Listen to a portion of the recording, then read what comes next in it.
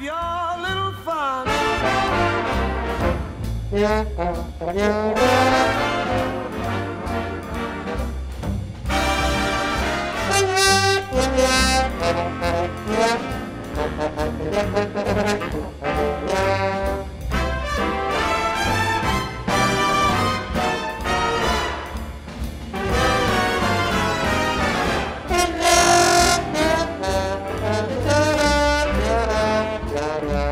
Why do you work and slave and save?